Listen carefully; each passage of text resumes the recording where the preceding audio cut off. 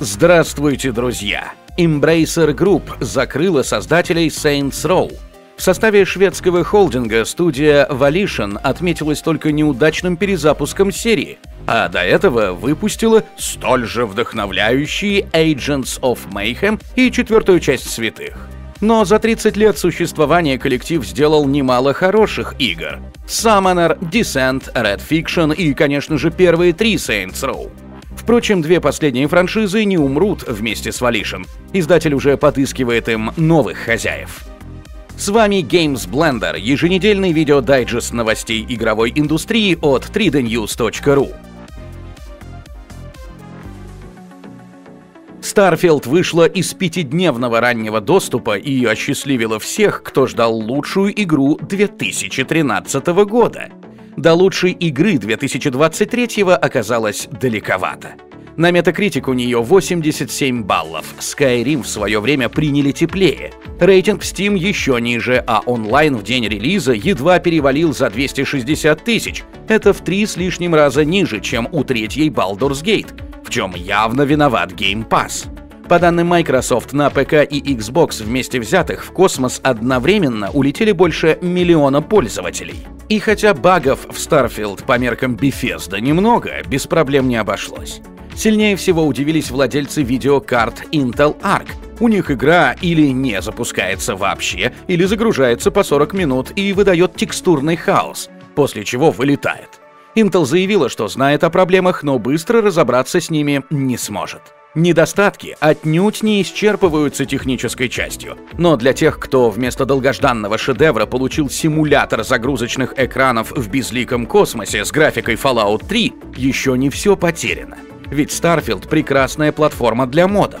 Самые полезные вы найдете в нашей новости по ссылке в описании ролика. Один из них позволяет включить DLSS 3. Автор сделал его платным, но защиту быстро взломали. Однако прежде всего вам нужно не это, а фонарик-проектор. Ведь какой бы ни получилась игра, всегда есть надежда на лучшее, если ваш путь освещают Фил Спенсер, Тодд Говард и Николас Кейдж.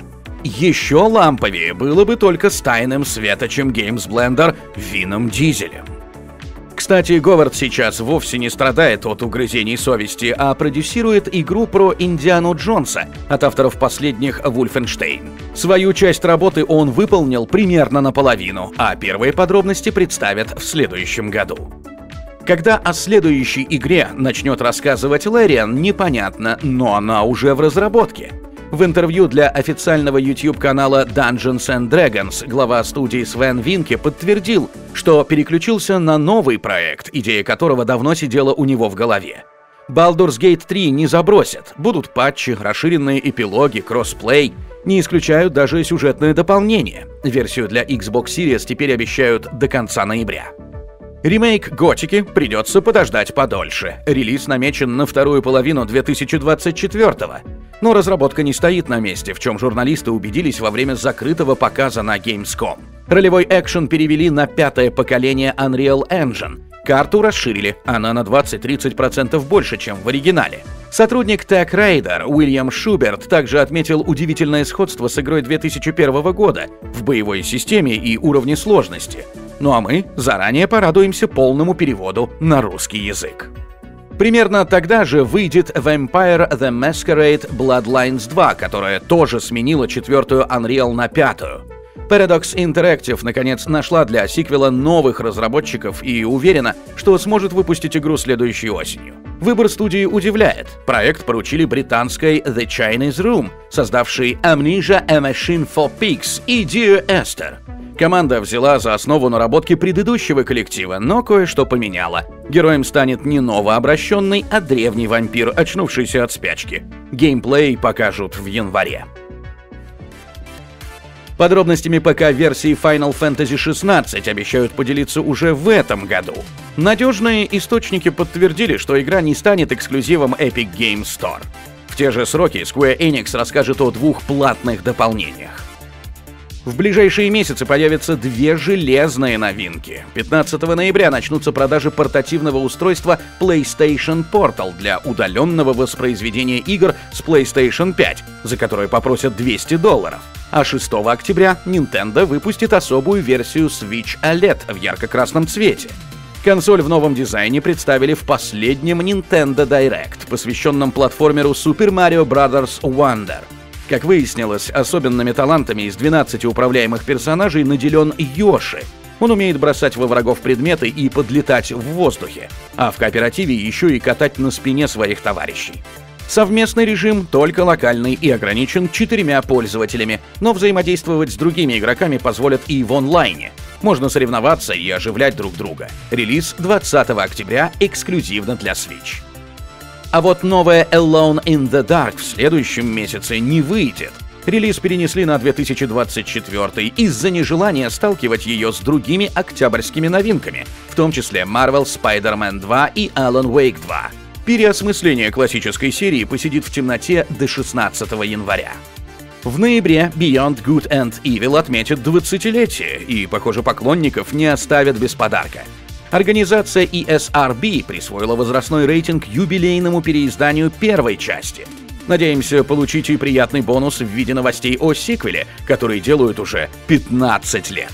Еще один волнительный слух. Rockstar приступила к разработке Red Dead Redemption 3. Об этом рассказал инсайдер My Time to Shane Hello, специалист по утечкам в сфере Marvel и DC.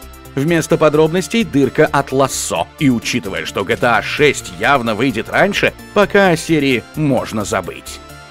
Напоследок, приятная новость для тех, кто терпеливо ждал, пока Electronic Arts приведет в порядок Star Wars Jedi Survivor — вышел важный патч с улучшениями производительности и поддержкой DLSS 2 и 3 версий на ПК.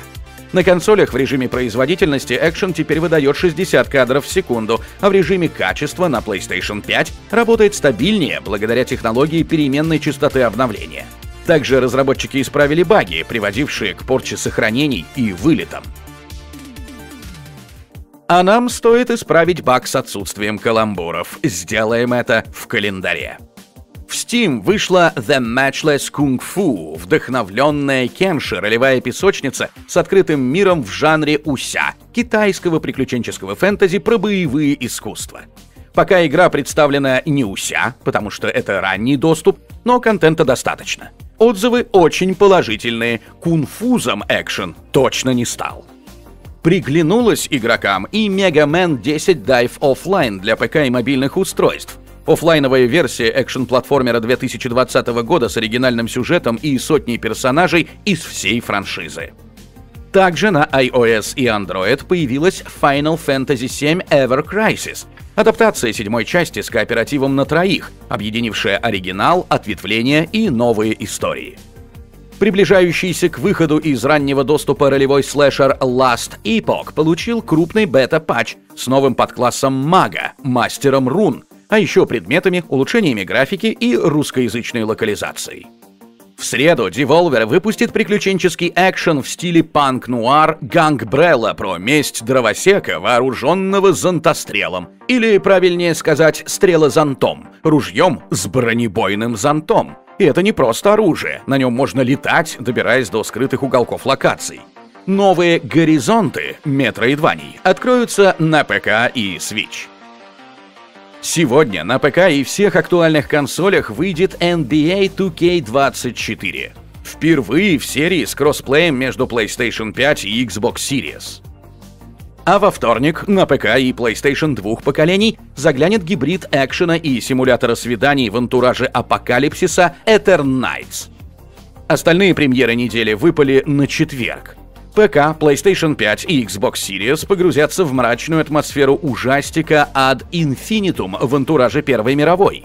На те же платформы, а также Switch, наведается компания очаровательных аксолотлей с автоматами наперевес. В роглайк-шутере Axolotl можно вырастить армию милых земноводных и устроить абсолютно безжалостную бойню.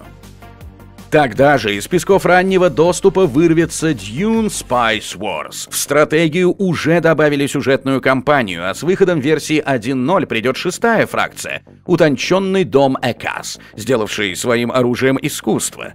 Игра подорожает на 15%, примерно до 1200 рублей. По словам создателей, одно прохождение занимает 2-3 часа, но при должной сноровке к победе можно прийти и за полчаса. Оценить динамичный геймплей предлагают пользователям Steam и Microsoft Store, в том числе подписчикам Game Pass. А Ubisoft в четверг позовет на Гавайи вместе с The Crew Motorfest. Третья игра серии позволит погонять по улицам Гонолулу, горным трассам, тропическим лесам, пляжам и склонам вулкана на сотнях автомобилей. В Steam проезд запрещен. Подтверждены только версии для Epic Game Store, Ubisoft Store, а также PlayStation и Xbox двух поколений. Будет текстовый перевод на русский. Главное, чтобы не получилось как со второй частью. Но если и в этот раз Юби не справится, то с The Crew пора закругляться. Нам, кстати, тоже. Всем спасибо за просмотр и до встречи в следующем выпуске Games Blender, друзья!